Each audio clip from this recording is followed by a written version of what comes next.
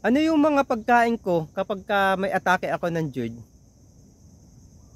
Siyempre, hindi lahat ng pagkain po pwede sa atin, lalo na kapag ka may atake ka ng acid reflux.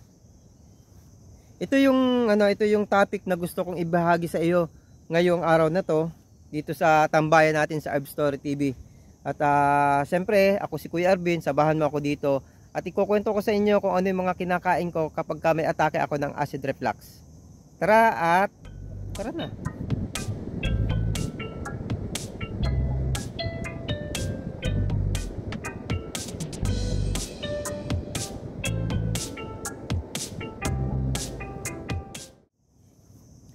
Yan mga idol, good morning. At uh, samahan niyo ako magpa-araw. Yan, kita niyo naman yung ano oh, pakita ko sa inyo. May anino ako. Ayan. Hello? Yan may anino ako. Ano may anino ako ngayon.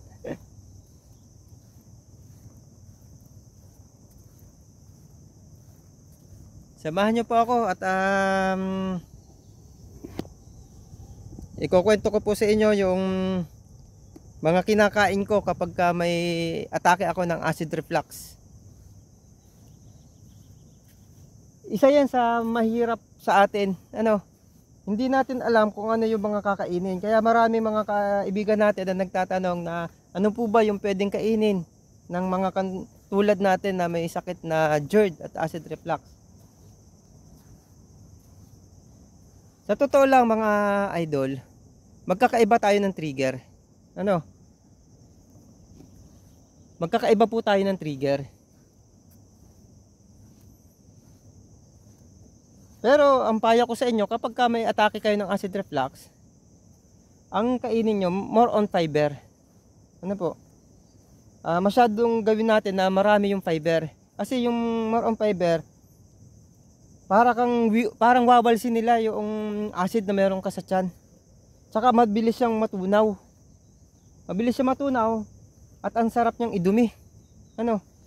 Mawawalis talaga. Mararanasan at mararamdaman mo pagka dumumi ka, mainit. Ganun din yung ihi mo. Mainit. Kasi winawalis niyan yung mga asido sa atin tiyan. Kahit ano naman pagkain po pwede. Basta pakiramdaman mo muna sa sarili mo ang tiyan mo. Kung hindi ka trigger dito, kung hindi siya nakaka may masamang epekto. Minsan sabi nga ng iba na trinay ko din, ano, trinay ko din, pag ang isang pagkain na hindi kilala ng katawan mo, kaya siya nagiging trigger. Pero mm, pag inimune mo, pinalagi-lagi mo yun ang kinakain mo, masasanay din yung tiyan mo. Makikilala niya yung pagkain yon. At um, hindi na siya masyadong sasakit pagka inulit-ulit mo na siyang kainin. Kasi pag sinasabi lagi ng mga ano, ng mga kaibigan nating iba na kailangan gulay, gulay, prutas, eh mahal lang gulay, eh mahal lang prutas. Ano? Sasabihin ng iba, bawal yang ganito, bawal yang ganyan kasi sa kanila nakakasakit. Ay pero yung trigger nito, minsan iba sa iyo, iba sa kanya, iba sa akin. Ah, yan. Kaya hindi lahat ng trigger sa akin, trigger din sa'yo. Kaya pwede mong gawin, kumain ka kung ano yung pagkain na naandyan sa inyo. Wag, lang, wag mo lang dadamihan. Uh, tatansyahin mo rin. Tapos tingnan mo kung hindi masakit sa'yo. Kung masakit sa'yo, kaunti-kaunti lang. Masasanay ka din doon sa pagkain yon. Wag lang talaga yung mga alcohol, mga, yung mga alak na yan. Wag lang yan yung kape yung 3 in 1 wag yan. Kasi uh, ang talaga nagpapasakit sa atin masyadong maalat matamis oily.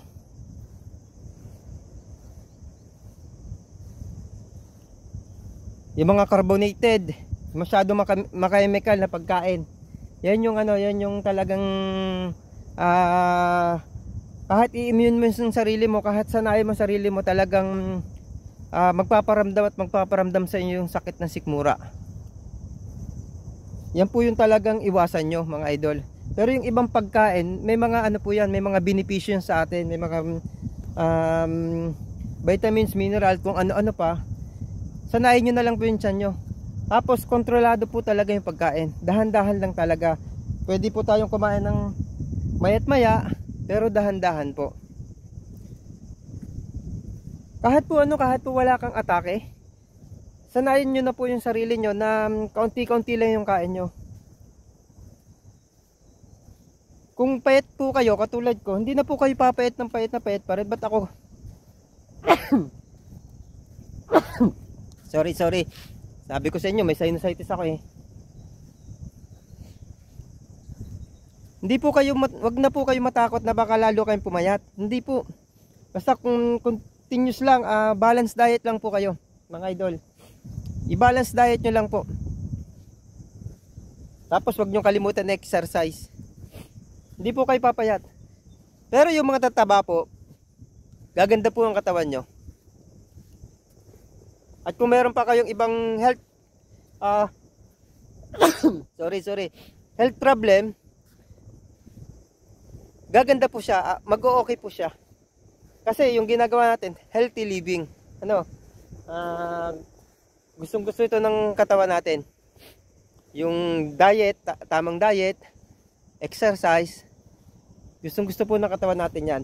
Kaya, pabor po sa lahat. Dahil tayo minsan, hindi lang isa ang kondisyon, ano. Minsan may iba pa tayo mga karamdaman. Ang nakikita ko lang talagang problema minsan, pagdating sa gamot, magkakalaban yung mga gamot, ano. Yun po ha, mga idol, hindi ka na matatakot sa pagkain ha. Binigyan kita ng tip. Ano, lahat ng pagkain pwedeng mong gawin.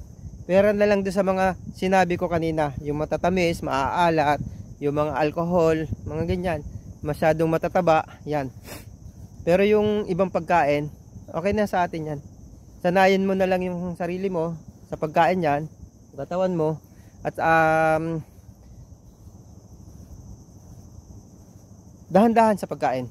Tubig po, huwag kakalimutan na at isa sa pinakamagandang tubig ay ang uh, tubig ng sari ng buko. Ano po? Ng murang nyug. Ano po? Ng baby coconut. Yan. Yung tubig po niya na isa po sa pinakamagandang tubig. Ano po? Sige po at uh, sana nakapaghatid ako ng magandang kwento para sa inyo ngayong araw na ito.